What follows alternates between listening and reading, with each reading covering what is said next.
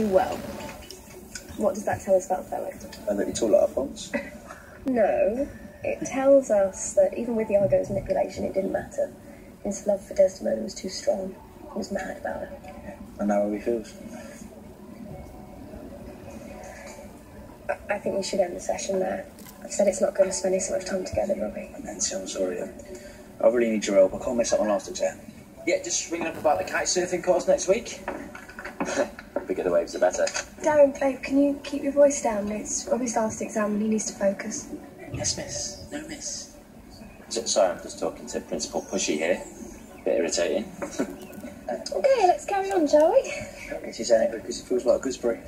Robbie, What?